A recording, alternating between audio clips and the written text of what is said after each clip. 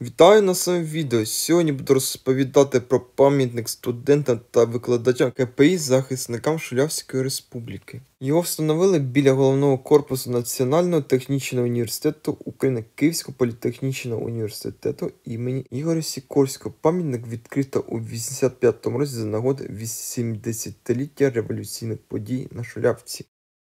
Композиційно пам'ятник складається із прямокутних блоків сірого граніту, встановлених вертикально на стелеботі із чотирьох гранітних плит. У верхній частині архітектурного обсягу гранітний блок відсунуто назад і вмонтовано п'ятифігурну бронзову скульптурну групу, що символізує учасників революційних подій. У центрі двоє робітників, один із прапором, на якому написано геть царизму, інший при напруженому русі вперед поруч із ними студент. У довгій шинелі з обох боків два робітники. Рушеницями пластика скульптурних постатей реалістично докладено відтворені історичні атрибути.